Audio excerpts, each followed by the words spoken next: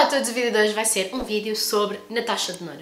Hoje vamos falar sobre as paletas da Natasha Denona. Eu já experimentei muitas, tenho três, e decidi que era uma boa ideia fazer um vídeo sobre o meu top das paletas Natasha Denona. Quais são as que eu mais gostei, e sinceramente, quais é que são os meus rankings em termos de paletas na taxa de nona? São produtos caros, portanto achei que este vídeo poderia ser útil para alguém desse lado que queira comprar as primeiras paletas na taxa de nona. Portanto, o vídeo de hoje vai ser isto, por isso vamos começar. Então, como vos disse, vamos falar de todas. Eu só tenho três paletas mesmo na minha coleção, no entanto, tenho várias que já experimentei aqui de amigas minhas e que sinceramente posso-vos dar a minha opinião. Temos então, em termos de, na minha coleção, temos das clássicas, a Bronze e a Love. Outras paletas que eu já experimentei na taxa de nona nestes mesmos formatos a mais recente I Need a Nude e a Retro, ah, e a My Dream Palette. Portanto, na verdade, destas assim clássicas, as eyeshadow palettes que têm, acho que isto tem 15 tons, exato, 15 tons, estas de 15 tons eu já experimentei, perdi-me outra vez 5, 5 destas. Em termos de face palettes, só experimentei uma, que é a minha mais recente aquisição, que é a Glam Face Palette,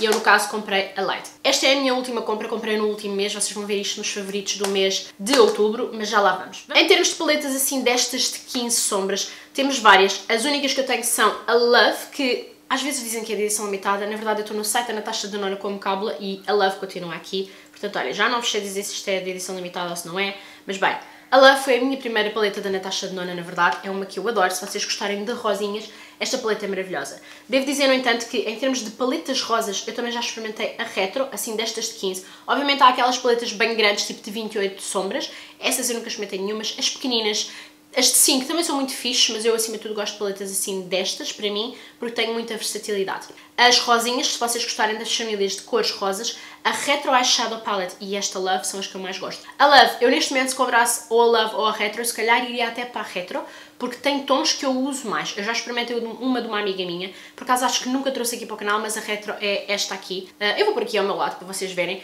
Em termos de rosas, a Love e a Retro são assim as melhores, eu adoro tons rosinhas. Neste momento devo-vos dizer, se já existisse, quando eu comprei esta Love não existia a Retro. Se já existisse a Retro na altura em que eu comprei a Love, eu optaria pela Retro só porque os tons para mim são mais apelativos e mais usáveis de dia a dia. Esta Love acaba por ter tons assim um bocado mais diferentes que eu não uso tanto, tipo estes roxos por exemplo eu não uso tanto, este cinza aqui eu também não uso tanto, todos os outros eu uso bastante, mas em termos de rosas estas duas são esplêndidas. Depois, em termos de Smokey Eyes, temos obviamente, já sabem que a nova Shannon e temos a Glam Eyeshadow Palette. A Glam é um mix de tons neutros e tons uh, acastanhados com tons mais escuros para fazer smokey eyes. Eu acho a Glam muito mais interessante, sinceramente, e a Shannon obviamente é só escuros. A Shannon eu vou por aqui, que é nos tons pretos, a mais recente que saiu. É uma que não me chama nada, eu não experimentei, portanto não vos posso dar tipo a minha review em termos de se é uma boa paleta ou não. A partir deve ser, as sombras da Natasha são consistentemente boas, em termos de tanto uma como outra.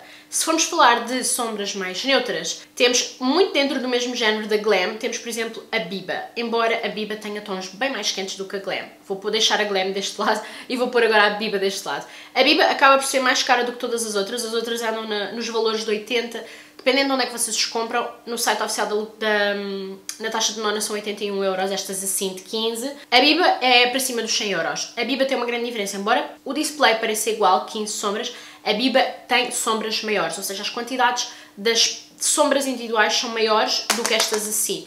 Ou seja, acaba por ter o mesmo display, a mesma quantidade de cores, só que em maior quantidade. Por isso é que a Biba é uma das mais caras. Acho, no entanto, se vocês querem uma paleta de neutros, a Biba é e seria a minha melhor opção. Acho que assim de todas, vendo todas as paletas da Natasha de Nona, a Biba é a mais consistente em termos de até para maquilhadores, se quiserem para o vosso kit, acho que a Biba acaba por ser assim a mais versátil, porque vocês têm tons smoky na última linha de baixo, depois têm tons neutros, nas duas primeiras linhas têm tons mais escuros, tons mais claros, castanhos mais neutros, castanhos mais quentes. Sinceramente, acho mais interessante do que a Glam, que também tem estes neutros e estes escuros para fazer smoky eyes e também dá muito bem para trabalhos, mas acabam por ser todos, a puxar todos mais para os frios. Entre neutras, Biba ou Glam, a Biba seria a minha escolha, sendo que não tive nenhuma. Depois, em termos de tons quentes, quentes, quentes, temos a Bronze, que é a minha paleta de sombras favorita da Natasha Denona. Esta foi uma loucura quando saiu e se vocês gostam de tons quentes, basta olharem para o display dela para perceberem porquê. É Gold Dreams, Gold Bronze Dreams.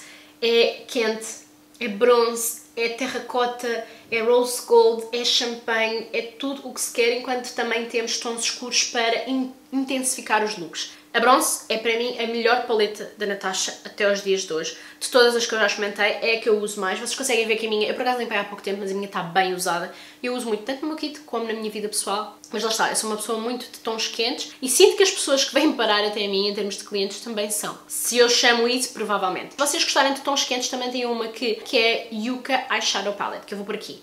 A Yuka tem também estes bronzes e estes champanhes, no entanto, acaba por ter um bocadinho mais de algo diferentão. Na Yuka vocês têm tipo verdes, tipo verde floresta, têm tipo um amarelo mais amarelo, não é tão tipo bronze, quente, terra. Acaba por ser mais amarelo e verde e tem também tipo um cinza. Óbvio que se querem algo diferente, que não têm muito no mercado, a Yuka destaca-se por ser diferente. Não me chama imenso, confesso, mas eu sou uma pessoa mais de neutros. Depois temos duas que eu acho que têm assim tons muito user-friendly. Ou seja, são tons que vocês olham para a paleta e tipo chamam-vos imenso. Neste caso temos a My Dream Palette, que será uma das que eu vou comprar sem dúvida. Esta foi uma daquelas paletas que eu fiz vídeo aqui no canal, fiz reels, fiz short, fiz imenso conteúdo com essa paleta, adorei e sem dúvida que é a minha próxima compra para o meu kit. A My Dream Palette, quando eu dei de volta, eu pensei, eu preciso desta paleta para o meu kit. Acho que lá está, olha-se assim de repente chama muito os tons. Outra que também se olha e chama muito os tons é a I Need a Nude, a nova. Agora, vocês sabem que eu a nova estou reticente com ela em termos de, eu acho que é boa e vocês se virem os últimos vídeos aqui no canal, eu mostrei tanto fazer looks com ela como primeiras impressões e fiz looks que eu considero muito bonitos e acho que se consegue fazer looks super bonitos com ela. No entanto, acho que se vocês não aglomerarem por famílias de cores, acaba por se tornar complicado e confuso. Embora a I Need a Nude seja mais falada, a My Dream Palette foi sem dúvida a que eu mais gostei.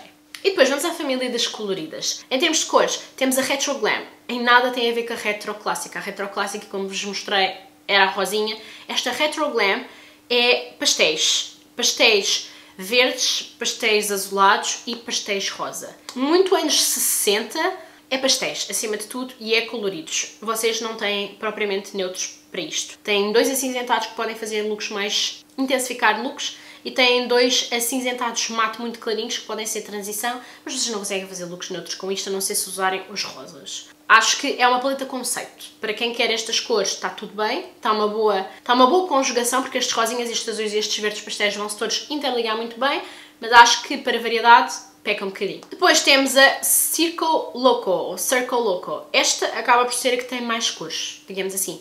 Embora eu acho que é uma paleta que é está mal construída, na minha opinião. Acho que está uma mistura de cores, está uma salganhada. São metálicos, são mates e acho que se vocês não utilizarem esta paleta com outras paletas, não sei, acho que vai faltar qualquer coisa. Porque estes tons não têm cores complementares mate para fazerem looks coesos, na minha opinião. A Circle é um mix de tudo. Vocês têm verdes, têm azuis, têm laranjas, têm rosas, têm cinzas, têm lavandas, têm, têm tudo se é uma, uma paleta arco-íris perfeita para ter no, no kit. Eu acho que não, porque tem, acima de tudo, muitos metalizados e poucos mates e vai sempre faltar qualquer coisa. Esta é a minha opinião. É assim, tinha potencial se fosse mais, mais bem construída. Esta é assim das que menos me chama de sempre. E depois ainda temos mais duas que na altura me deixaram muito intrigada. De um lado a Sunrise e do outro lado a Zendo Palette. A Sunrise, vocês têm os amarelos e os laranjas, mas depois também têm os rosados. E depois tem no fundo da paleta, mesmo no cantinho, umas cores muito estranhas, que são tipo... Eu nem sei mais descrever estas cores. É assim uns beges, uns beges, beges bronzes, meio prateados também. É acima de tudo se vocês querem ter, literalmente criar as cores do pôr do sol, tipo, está inspirado literalmente nas cores do pôr do sol. Desde o roxo, o rosa, o laranja, o amarelo, depois tem tipo os bronzes intermédios. Não é muito versátil, na minha opinião. E a Zendo é dentro da mesma, da mesma coisa. A Zendo, eu acho que a inspiração é mais tipo cores da África, pelo menos é essa a sensação que eu tenho, ou então se calhar foi essa a pinta que eu tirei à paleta.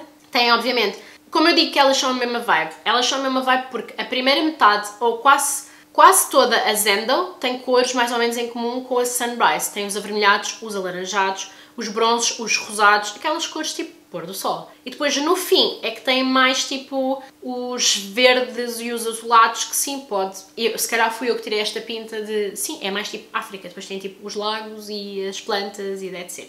São paletas mais conceito, na minha opinião. Acho que não são bem versáteis em termos de para se ter no kit vão ter imensa escolha de cores e acho que para o dia a dia, a menos que usem estas cores todos os dias, é difícil fazer looks neutros e suaves com estas cores. Depois, por fim, temos as grandalhonas, as de 28 sombras, que, para além das 28 serem caríssimas, as de 28 sombras já são para cima dos 200 euros. É um absurdo.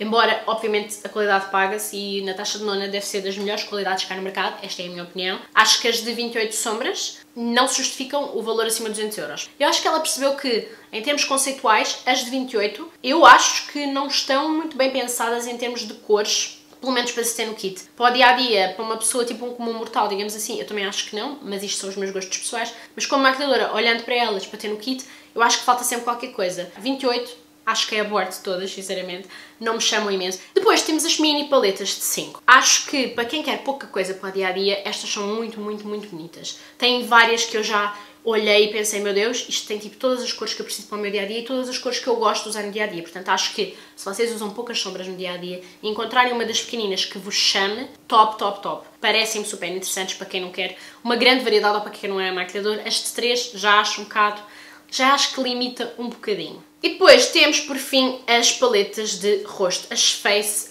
Palettes. Ou a Love Face Palette ou estas Glam Face Palettes. Acaba por ser mais simples e é uma mistura de paletas que trazem produtos de rosto e sombras para os olhos. Eu ultimamente andava a ponderar comprar uma destas porque eu achei que, primeiro, era bom para o kit, porque se eu tiver, por exemplo, só uma cliente ou duas ou três clientes que usem coisas mais suaves, eu aqui consigo ter um bocado de tudo. Embora eu não, não fui tanto a pensar no kit, foi mais a pensar em mim. Porque achei que isto para viagem ia me dar imenso jeito, porque eu das duas uma. Ou levo uma paleta que tenha tudo, ou tenho que levar tipo tudo separado. E então estava naquela do bem. Isto poderá ser bom para kit, tipo, se for algo mais natural ou clientes querem algo mais natural, porque eu acabo por ter neutros aqui e para mim top para viagem. Devo dizer, na Glam Face Palette, que é esta que eu tenho aqui, tem a Light, portanto que é esta, que é a minha, que tem os tons claros, e tem a escura, que tem tons um bocadinho mais escuros. E na Love é os mais rosados, a coleção Love é mais nos rosas, tem uma, eu acho que é só apenas uma cor, deixem-me ver aqui, mas eu acho que sim. Na Love é exatamente apenas uma cor, traz portanto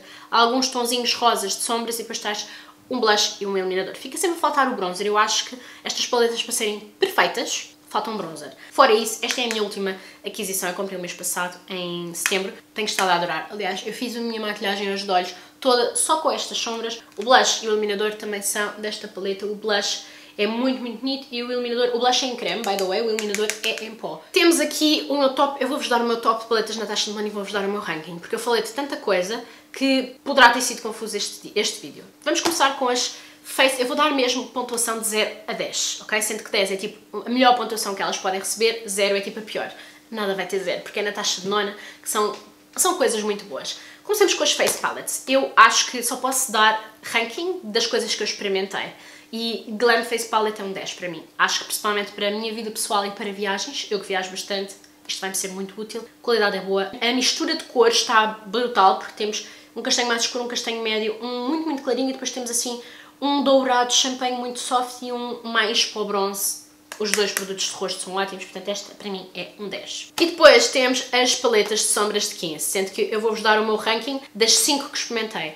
As duas que tenho e as 3 que experimentei. A única que é um 10 é a bronze. Pá, esta continua a ser a minha paleta de sombras favorita do, da minha coleção. Acho que se não gostarem de tons quentes, vocês não vão gostar disto. Se gostarem de tons quentes, tons bronzes, tons dourados, aquele glam Hollywood vibes, isto é um autêntico 10, as sombras são cremosas, muito, muito boas, os metálicos são intensos, tem aqui um, um duochrome rose gold que é magnífico e o preto é daqueles muito cremosos que são, epá, isto é um 10, ponto. Depois das rosinhas que eu experimentei, temos a Retro e temos a Love, eu devo-vos dizer, a Retro para mim é um 9, eu amei as cores da Retro e a Love para mim, neste momento é um 7.